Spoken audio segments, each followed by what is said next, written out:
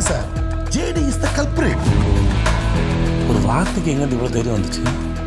செய்யாவிடனா அது ஒரு போதக்கை.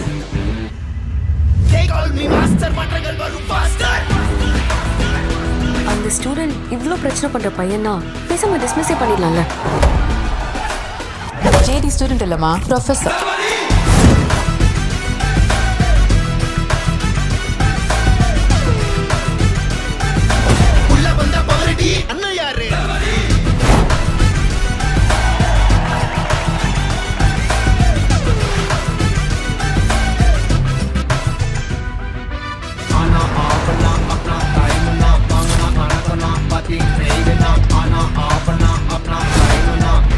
வாத்தி ஒரு மாதிரி வண்டிகளை ஓடிட்டே இருக்கான்.